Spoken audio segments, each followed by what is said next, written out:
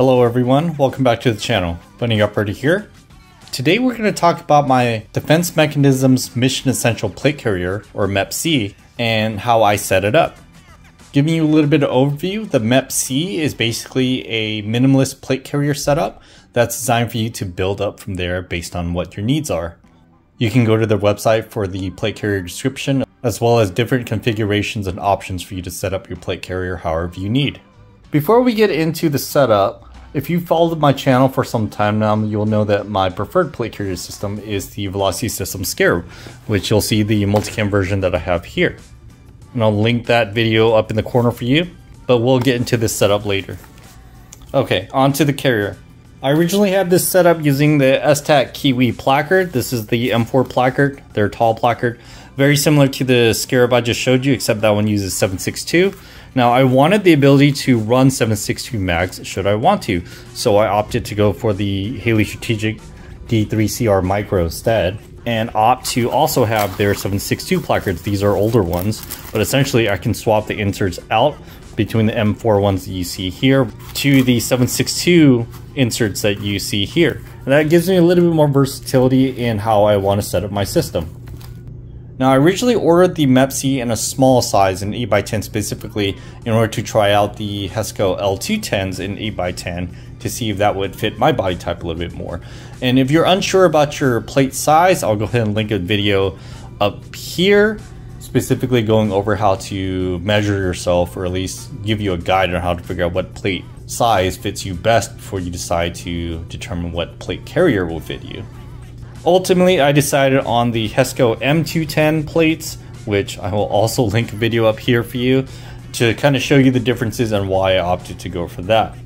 Now, as far as this setup goes, once again, this is the Haley Strategic D3CR Micro, and it is held on by Swift clips.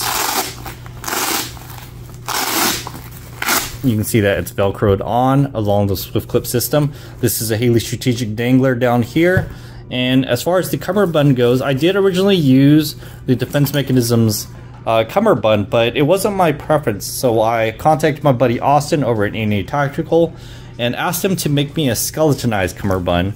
Really, because this was going to be the Multicam Tropic kit and the one I probably use in more warmer weather, so I wanted a little bit of skeletonization. So I had to make me that, and on the left side, here's actually a Defense Mechanisms uh, tourniquet wing here which I do have a tourniquet mounted. And on the left side, I have um, Blue Force Gear M4 pouches, the dual side hooked on to the cummerbund. And this is so I can run additional accessories, but mainly so I can throw 20 rounders in here should I want the ability to use a 20 rounder. And sometimes the 30 rounders, I tend to run my 30 rounders with Ranger plates on them. They stick up a little too high and they kind of dig into my armpit, so I prefer the 20s. Even with a Ranger plate on the 20s, they work much better for me. On the right side, well, there's nothing on the right side, but you notice that there are the XL um, placard retention clips here that I'm using, and that is really to integrate with the sides of the Micro just to kind of snug it up and hold it a little bit tighter to my body. I find that really helps and prevents the micro from flopping around uh, because it is connected by the Swift clip plus the Velcro, but sometimes you just want a little bit more pressure pulling on the side just to kind of keep it a little more stable when you're moving around. And that's my preference. So far, so good. I found that to work really well, and uh, it just feels better because it does snug up the the uh, the cummerbund system, or at least the entire plate carrier into your body a little bit. So the MEP-C, the front of the placard is basically bare. It's, it's soft loop Velcro, which is basically this soft loop side, and that's the entire bottom half. The top half contains also soft Velcro, but they are MOLLEs. It's MOLLE looped, so you can integrate stuff uh, however you need to. In this case, I just use it as a patch panel, and you can see that I have my buddy Kieran over at Distaste. He's a clothing company. He made a passion sent one out to me, so you know I thought I'd support him and rock that out.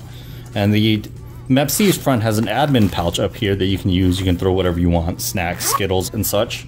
But uh, going back to the micro here, the, the, reason why I swapped from the Esstac was to have versatility in the placards. Granted, I could also get a 762 placard if I wanted to, but um, I also found that I was missing the desire to have a front pouch to store things like my cell phone or whatever my uh, everyday items are if I was out on the range.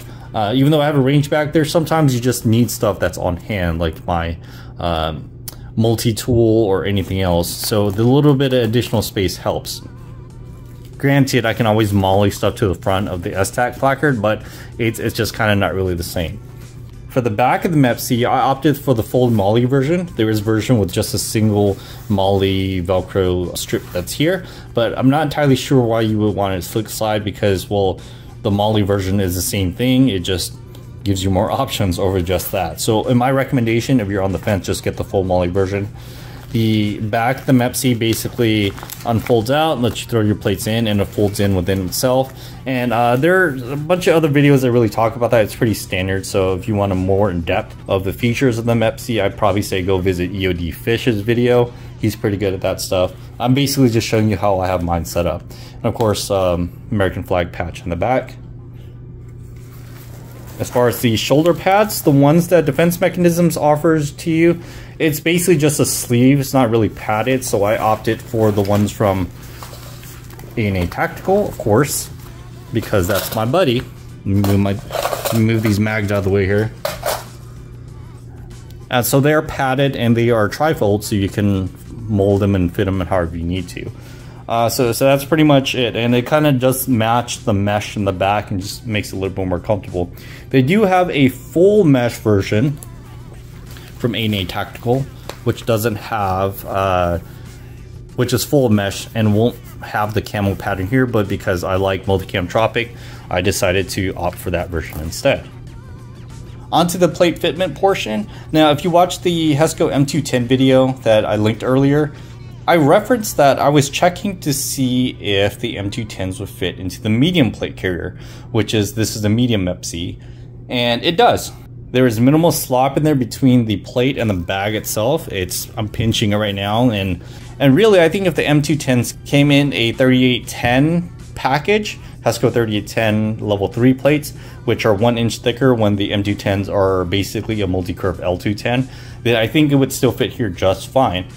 I have noticed with my 8x10 that the 8x10 L210 fit perfectly, but when I threw in an 8x10 3810, the bottom of the plate bag had a little bit of trouble closing. Like I really had to stretch that and it had exposed male side Velcro, which kind of jacks up your clothing depending on what you're doing really. And, and that's not really too much of a problem, but it's just annoying Basically, the plate bags are made specifically for the plate size that you're intending to use.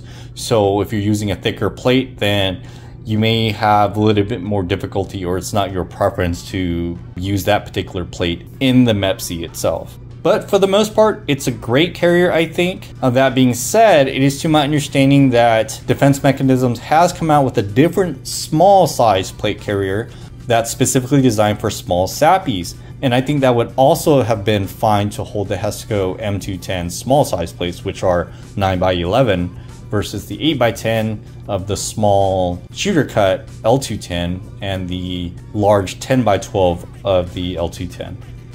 So that would essentially make the small 8 by 10 MEPC that I have in my possession basically only for the 8 by 10 shooter cut plates which is fine. But it is really small. Just note that it's kind of the size of a child or a really small frame person.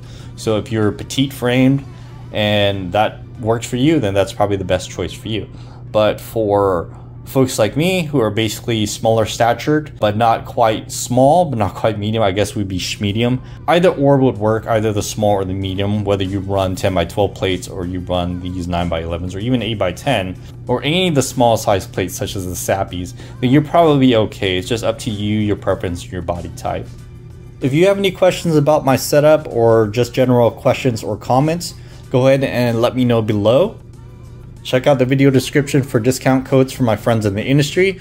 If you need holsters, use my discount code from LAS Concealment. I exclusively use their holsters because I honestly think that they're one of the better designs that are out there. My discount code is BUNNY For soft goods, check out A&A Tactical. They're the ones that made this cummerbund as well as the cummerbund on my other plate carriers and the CQ Bunny, which is an idea that I came up with and had A&A Tactical create for me, but now it's a dedicated item on their website. I don't get anything out of it, it's just a design and they decided to name it after me because it was my idea. So that's cool for them. So if you want something like that and have a more snug chest rig, use my discount code for them should you want anything from there. Expect a future video out on that later. Please do like the video and forward it to anybody who you think it could help. That's all I got for you today. Thank you for watching. Bunny Operator signing out.